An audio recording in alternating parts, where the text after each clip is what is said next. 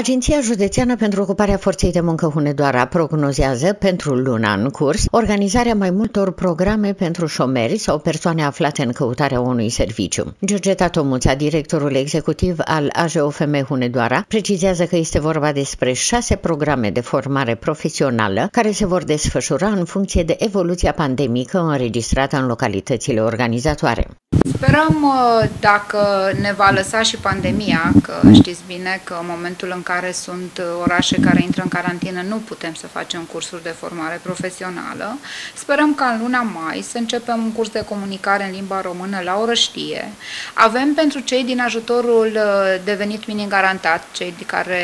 cu care ne-am întâlnit, așa după cum știți, în campania noastră de verificare a celor din